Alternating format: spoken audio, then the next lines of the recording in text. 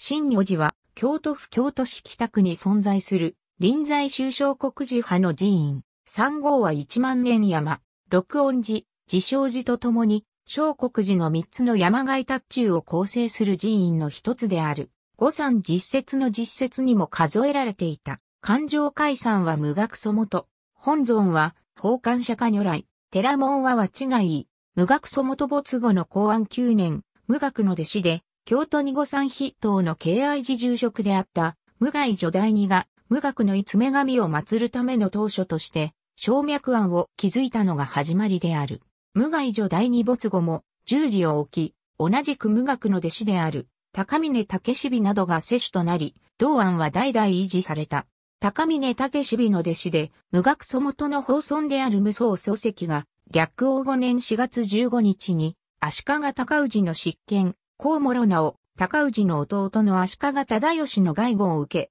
伊を東側に移して、寺院として整備し、この際に無学祖元所住の中国石膏正大修神如寺に習い、次号を新如寺とした。境内は、絹笠山を借景に、風景に富み、十境の勝ちあり、無双祖石の命ずるところなりと言われた。そして無学祖元を、環状海山に、無害女第二を、環状海期とし、無双自身は第二世として入寺した。また、官能二年に没した、高諸直の法名は、新如寺殿道常大前上門である。五人死因関白期の延文3年5月2日、孔子の城には、足利高氏の葬儀を、また、後具前期の常時6年12月8日と12日の城には、二大将軍、足利義明の葬儀をそれぞれ新如寺で取り行ったとの記述もある。不相後三期に日本書時事によると新如寺は、大日本国前印書残罪上略王4年8月23日表情道5年4月23日十沙汰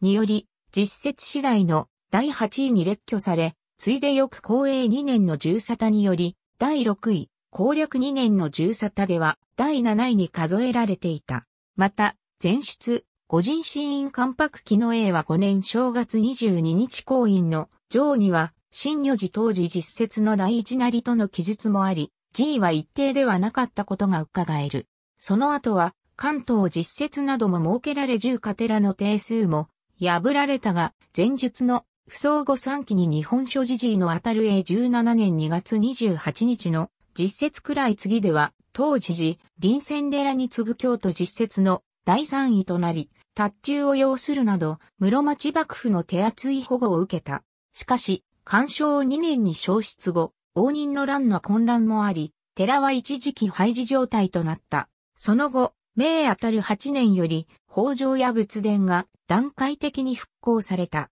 天文4年に、法教寺門跡となった花屋に長老は、無学祖元、無害女第二の進言をしたい、天正4年当時を墓所として埋葬された。これ以後法教寺歴代の菩提所となる。明暦2年には、後水のお天皇によって本格的に報道が再興された。これは同年1月に天皇の第五王女で法教寺門跡第20世の道正にが没した時、墓所である当時が荒廃していたことによるもので、洋州府市には、千住院東西万年三神女寺、法教二寺の一代、久しだけ正長老、しかも、五水の院、第六王女なりと見える。道正に以後、歴代門跡の李中に、李豊に、李修にや、李近内親王も同時に葬られている。また新如寺は、江戸時代を通じて、五山派下において、臨済宗僧侶の崩壊のうち、西道職の本案としての役割を持ち、報道において、受長式を挙行する道場でもあった。したがって、全新如で始まる法名を持つ、禅寺、禅僧は、同時において、西道職を受長した証であり、その後た寺へ入寺したことになる。また、境内の達中に関しては、過去に、方向医より、聖火院、釣り不加減、小脈医より、木本院、信仰よりの、経録栄が存在した。大正7年に、鎮守として奥山半僧坊大権現を、小国寺山内達中より、境内に潜座するなどをして、現在に至る。ありがとうございます。